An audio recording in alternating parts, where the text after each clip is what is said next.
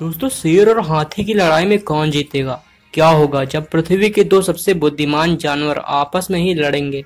जहाँ पर एक तरफ़ शेर, जो कि जंगल का राजा होता है, और अपने हित के लिए दूसरे जानवरों का शिकार करता है, वहीं पर दूसरी तरफ़ हाथी, जो कि जंगल का सबसे बड़ा और बुद्धिमान जीव माना जाता है, और वह दूसरे जानवरों को शेर से शिकार होने में बचाता है। तो दोस्तों, आज के इस वीडियो में हम देखेंगे कि शेर और हाथी के बीच लड़ाई में क्या शेर हाथी को हरा पाएगा या फिर हाथी शेर पर भारी पड़ जाएगा। वैसे तो हाथी पृथ्वी पर रहने वाला सबसे भारी भरकम और ताकतवर जीव है और इसे दुनिया का सबसे बुद्धिमान जानवर भी माना जाता है। एक सामान्य हाथी का वज़न लगभग 6000 से 10000 किलोग्राम तक हो सकता है और वहीं पर इसकी हाइट पाँच से दस फीट तक हो सकती है। और दोस्तों, वहीं पर अगर देखा जाए तो हाथी एक सामाजिक प्राणी भी माना जाता है। अगर हम बात करें शेर की तो शेर